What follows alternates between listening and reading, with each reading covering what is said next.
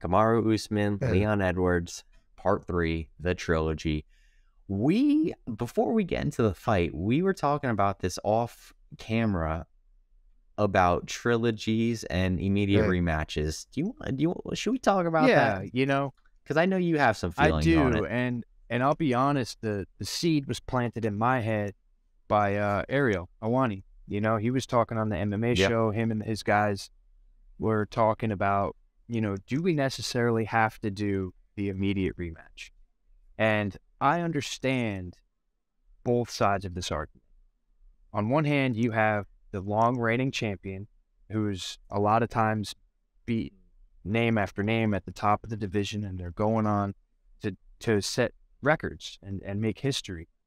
When they lose, it's the respectful thing to them to do to give that person an immediate rematch. But on the flip side of this, what you get a lot of times is you sort of are stealing some of the shine away from the newly crowned champion. Because, you know, Leon Edwards, a lot of people still have Usman ranked in their minds. They have Usman ranked higher, uh, pound for pound. And it's like, well, wait a minute, that guy just beat him. It's like, oh, well, yeah, but he got clipped. You know, he just lost. Usman's the guy who's been reigning at the top forever. A lucky kick. Yeah, yeah, yeah. Lucky kick by the guy who hasn't lost a fight in 10 years. But that's, Yeah. yeah, it was definitely lucky. Um, you know, yeah, I, I can't stand when people say that kind of stuff. It's ridiculous. Uh, when you look at uh, the Juliana Pena versus uh, Amanda Nunes, right? Juliana Pena's moment went out like it flared up and then it went away. And it almost feels like it never happened because they gave Amanda that immediate rematch. Amanda went in. Maybe she had, you know, a night off the first time they fought. Whatever it was, she she fell asleep at the wheel. Nunes took her neck, but then they run it right back, and it's almost like they never gave Nunes a ch- uh, I'm sorry, uh, Juliana Pena, Pena. Uh, like time to bask, you know. And Juliana called for the fight herself, so you can't be mad Yeah. about that. But I wouldn't be too upset about seeing Amanda Nunes taking another fight at the top of the division to get back to her spot in the championship fight. Same thing with Valentina. Can Valentina fight anybody else at the top? I know she's beat most of the division, but maybe she should be in a number one contenders fight. Give the new reigning champion a moment to settle in without having to run it right back. Look at what happened in the men's 125 division. We had to have the same fight four times in a row Took oh, two years, I think, to this figure that thing out. because it's like, oh well, he got it, and then he got it, and then Brandon had to go fight somebody else, and then he got back to the spot. Like it's so much better to me to kind of have to fight for your position in those title fights instead of just being gifted to you. But again, you go back to the other hand, and it's like, how are you not going to give Kamaru Usman, uh, you know, another crack at the title Yeah. he held not that long ago?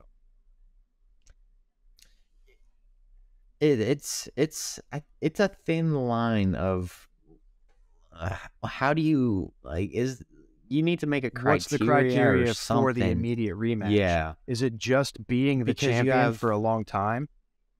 Is it is it how is it number of defenses? is it how close the fight was?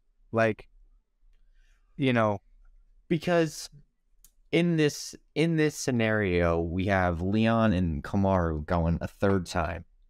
I looked at both scorecards from one and two. Kamaru is up, I believe it's five to two in rounds one against Leon between the Hmm. two fights. So to he's got one win already. He's lost the other. So I just think in this specific scenario, you had to give because Kamaru it's the the trilogy. immediate because it's a trilogy, because it's one Yeah. one, we see immediate rematches with like we're gonna see Valentina get the immediate rematch, but it's not like it's one one. Right. It's 1-0 for Grasso. um Alexa Sure. Grasso.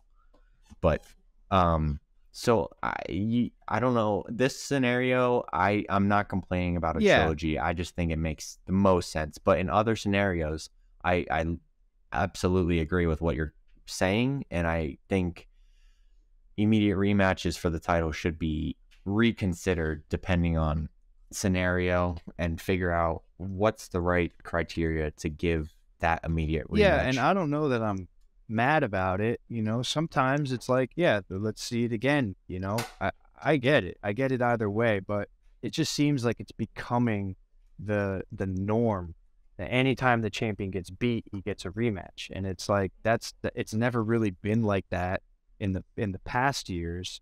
Yeah, but then I think, well, when there was the reigns of Jon Jones, Anderson Silva, GSP, Demetrious Johnson, those guys, well, they were all Jose Aldo, like they were all champions for ten years, lost. right? So, so Ooh, obviously, that. when you know uh, Silva got beat, he got the rematch. Like, so I, I, I understand where it comes from, the idea of it, but I, I just don't know that it has to happen every single time. Yeah, like um, to be honest, Adesanya, I just said I'm the biggest Adesanya fan next to the next guy. I wouldn't have been mad if they didn't give him an immediate rematch. Well, see, but Alex is up 1-0, 3-0 technically. Man, I mean, that would have been oh, cool we don't to care about Adesanya. kickboxing yeah, well, you still have to kind of. It's still Most there. people never saw. You, you know, it's, it's there. there. Most people never saw. True. Most people don't know that they're completely different fighters. It's a different sport. You know what I mean? It, it really True. is. It's it's not the same sport. Granted, they're doing the same thing. It's different. they did both hit a take. They both hit a takedown yeah, in that fight, if you could call it that. But um, yeah, like something like that scenario. I mean, I wouldn't even be too upset if they made Adesanya fight someone else, just because. Who does he fight though? He already kinda, beat the, everyone in the division. That's the that's the problem that's that you run question. into. You know, it's almost he's beaten everybody in yeah, it's almost better for someone like Alex or someone. I mean, I can't say Leon because he's fought everybody too. But when you get the guy that almost got fast tracked to that position, it's some sort of better to open up the division, give other guys a chance, you know, to get back in there. Robert Whitaker has a hundred percent more chance of beating Alex Pereira for the belt than he ever has of even getting another fight with this. So, you know what I mean? Yeah. So for guys like that, I you know, it, it's nice to have a new champion.